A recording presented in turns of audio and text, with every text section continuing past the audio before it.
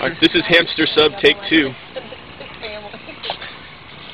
Alright, let me know when to go under. You, you go under. This is good.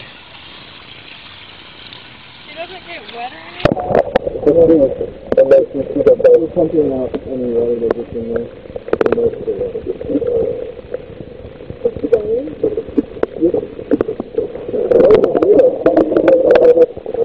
I'm pumping on water.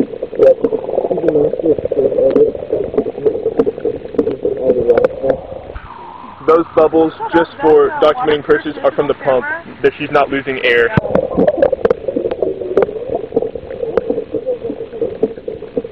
Okay.